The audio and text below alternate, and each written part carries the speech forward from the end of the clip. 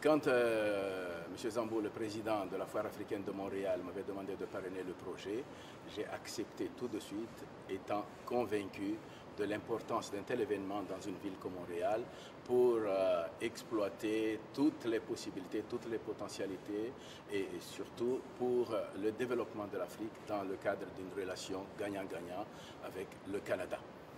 Nous venons aussi de faire une présentation sur euh, Madagascar euh, pour présenter les possibilités, les potentialités, les opportunités que Madagascar peut offrir aux entrepreneurs, aux opérateurs canadiens. Et là, j'invite tous les opérateurs canadiens pour euh, venir à Madagascar investir parce que les possibilités, les opportunités très rentables existent à Madagascar.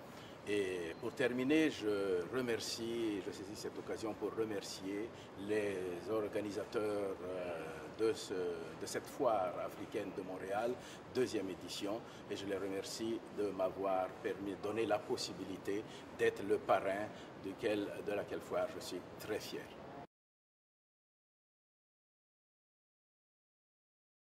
L'atelier tel que je l'ai vécu aujourd'hui était très important et intéressant. Et tous les intervenants ont mis tout ce qu'ils pouvaient en valeur, n'est-ce pas, pour faire ressortir l'intérêt que le Gabon accorde à ce genre de rencontres. Et aussi, euh, ils ont présenté dans tous les contours les différents aspects qui sont intéressants pour tous les investisseurs qui veulent venir chez nous au Gabon. Ils ont parlé euh, du Gabon vert, du Gabon des services, du Gabon des affaires et du Gabon bleu. Et je pense que ceux qui ont écouté la conférence, n'est-ce pas, les intervenants, se sont effectivement rendus compte qu'il y avait beaucoup de potentiel au Gabon. Et l'appel de leur a été lancé pour qu'ils puissent venir en masse, investir dans les domaines, bien sûr, qui sont les leurs, dans les domaines qui sont porteurs. Ils ont eu une illustration de ce qui se fait au Gabon et de ce que le Gabon attend en même temps aussi, en termes de facilité dans le domaine fiscal, en termes d'avantages dans le domaine douanier. Donc, euh, ils sont les bienvenus, tous ceux qui veulent venir chez nous.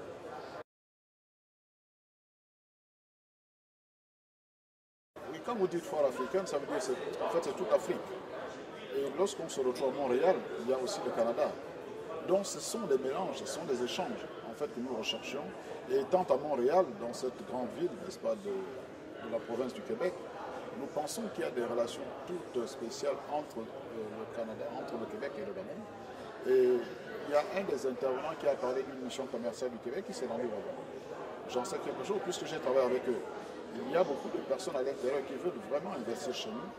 Et le contexte des affaires chez nous, au Gabon, au jour d'aujourd'hui, est très important et intéressant pour eux.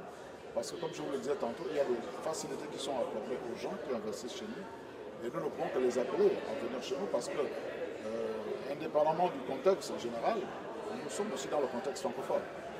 Donc euh, les investisseurs francophones du Québec sont les bienvenus aussi au Gabon, tout comme les autres, les autres régions du Canada. Donc Montréal, c'est un cadre vraiment adéquat, un cadre de conférence, un cadre de rencontre. Et nous avons assisté à plusieurs conférences ici à Montréal. Et vous savez qu'il y a la conférence l'année prochaine où le même invité à participer. Et nous nous faisons fort d'assister à toutes ces rencontres afin de vendre notre pays parce que nous avons besoin d'investisseurs étrangers dans notre pays.